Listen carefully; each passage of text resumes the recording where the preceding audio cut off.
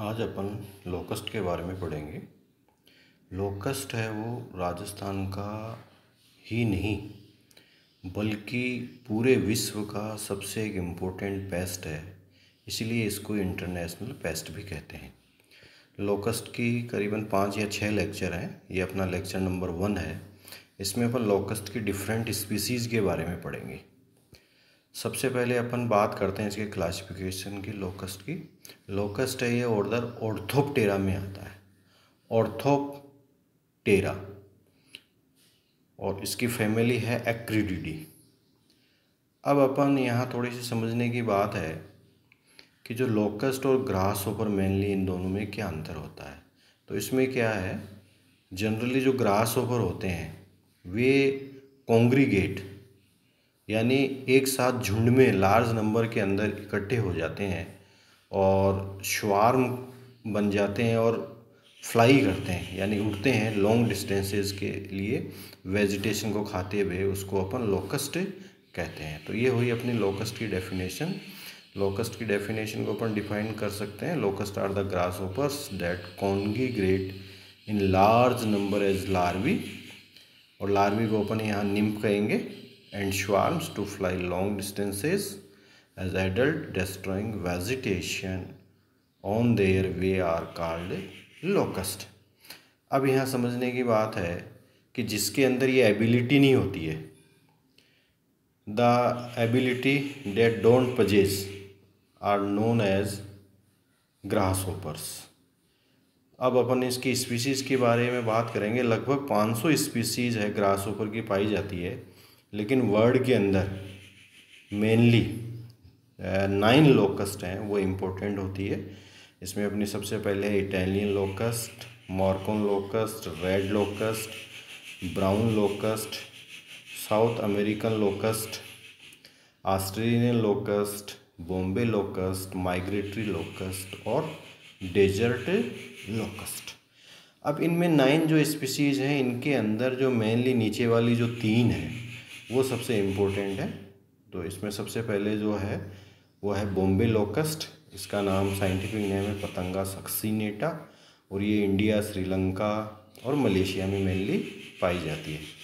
इसके बाद जो नेक्स्ट लोकस्ट है, वो अपनी माइग्रेटरी लोकस्ट लोकस्टा माइग्रेटेरिया ये पाई जाती है India Europe Africa Pakistan east and south Asia और ऑस्ट्रेलिया के अंदर। और जो सबसे इम्पोर्टेंट है वो है अपनी डेजर्ट लोकस्ट डेजर्ट लोकस्ट है, जिसको अपन सिस्टा सरका ग्रिगेरिया कहते हैं। और ये इंडिया पाकिस्तान अरेबिया और नॉर्थ अफ्रीकन कंट्रीज़ के अंदर पाई जाती हैं। इनमें ये जो डेजर्ट लोकस्ट है, वो सबसे इम्पोर्टेंट होती है।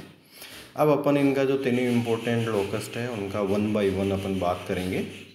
इसमें जो पतंगा सक्सीनेटा, जो बॉम्बे लोकस्ट है, ये इसकी एक्टिविटी है जनरली कन्फाइंड रहती है गुजरात और गुजरात तो नॉर्थ साइड में और साउथ में है तमिलनाडु एंड तमिलनाडु के अंदर साउथ में।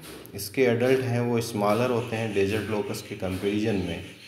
और एक अपन यहाँ बात देखने की है कि जो ऑर्थोपटेरा होते हैं, इसमें जो फोर विंग्स हैं वो हार्डी होते हैं और हाइंड विंग्स हैं, वो बिल्कुल सॉफ्ट होते हैं। और इसका जो ब्रीडिंग सीज़न है, ये मानसून ब्रीडिंग सीज़न होता है, आगे चल के अपन मान, इसकी ब्रीडिंग सीज़न की भी बात करेंगे। जनरली तीन ब्रीडिंग सीज़न होते हैं और इसमें जो अपनी पतंगा सक्सी नेटा है, इसमें है केवल मानसून ब्रीडिंग सीज़न ही होती है और ये बहुत इम्पोर्टेंट नहीं है। हालाँकि कुछ इम्पोर्टेंट है लेकिन इतनी इम्पोर्टेंट नहीं है। उसके बाद अपन बात करते हैं माइग्रेटरी लोकस्ट लोकस्टा माइग्रेटोरिया और ये स्पीसीज़ है, वो इंडिया में राजस्थान और गुजरात में पाई जाती है।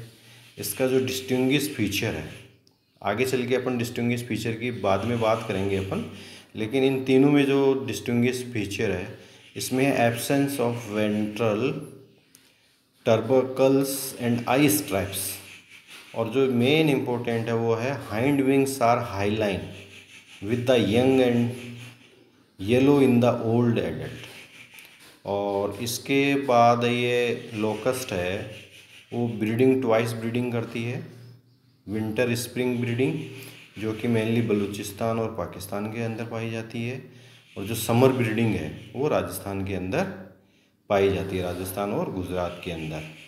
और देयर फोर मतलब जनरली है इसकी, साल में एक ही ब्रूड यानी एक ही जनरेशन इसकी पाई जाती है। कुछ हद तक है कभी कभार ये राजस्थान और गुजरात के अंदर नुकसान पहुंचाती है। अब अपन बात करते हैं जो इम्पोर्टेंट है और इंडिया में ही नहीं इंडिया से एंड ज्वाइनिंग पाकिस्तान और African countries specially Kenya Somalia इनके अंदर बहुत ही इम्पोर्टेंट है और ये मोस्ट डिस्ट्रक्टिव्स है। और लगभग है thirty millions square kilometre area के अंदर है। ये फैली होती है और इससे लगभग साठ countries sixty countries sixty countries हैं। वो है, इससे अफेक्टेड हैं।